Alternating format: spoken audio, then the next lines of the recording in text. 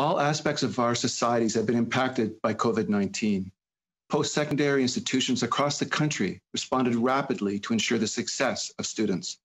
At the University of Calgary, we moved 30,000 students to remote learning, brought home our students and scholars studying abroad, ensured our domestic and international students were safe, and moved over 5,000 faculty and staff to remote work where possible. This was done in a matter of days. We implemented a decade of innovation in a few weeks.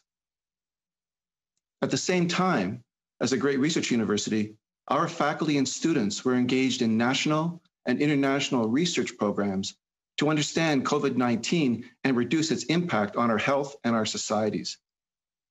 We work closely with all levels of government to inform public health policy. Our spin-out companies rapidly pivoted to supply much needed products to fight the transmission of COVID 19.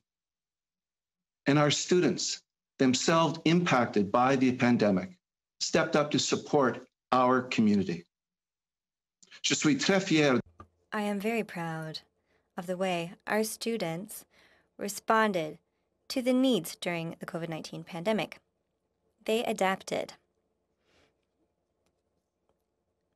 and they gave to those in need. Grocery delivery for those who couldn't get out. They volunteered to conduct contact tracing for the provincial healthcare systems. And over 200 pre service teachers provided free, individualized online tutoring for primary and secondary students. Our staff rallied to produce supports for mental health, up to the moment information, and advice on how to deal with the day to day impacts of the new normal. I'm very proud of how we helped and what we accomplished. But now is the time to look beyond the immediate COVID 19 emergency and ask how we can support this generation of students and scholars and ensure Canada's future. COVID 19 has shown the crucial roles that universities play to support Canadians, which is why I'm pushing as hard as I can to ensure that we learn from this year's decade of innovation. This fall, we are adopting a hybrid model of delivery. Within public health guidelines, we want to maximize in-person interactions. They are key, they're a key part of our student experience and a key component of knowledge creation and innovation. The electricity, the lifelong friendships formed, and excitement of starting a new journey are not easily replicated online. Canada needs the knowledge our universities create. The world will not be standing still, and our prosperity depends on it. Our Canadian government can help to ensure the success of students and scholars in the coming months through investments. Investing in work integrated learning and upskilling these are investments in Canadian productivity. Investing in research.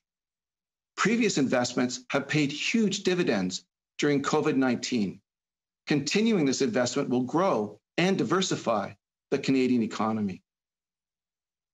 Investing in technology platforms.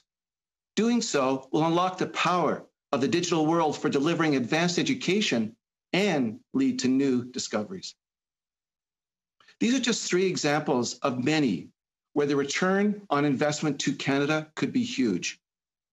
Such investments will ensure that Canada is equipped to deal with the next major global calamity because we will have the talent, creativity, and the ability to create new knowledge.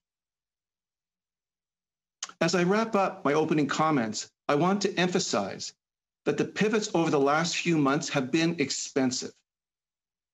But we view these expenditures as vital for our students' success and the prosperity that they will bring to the future of Canada. In a world with such significant uncertainty, investment in post secondary institutions is both an investment in our future and an investment in preparing for the next unknown.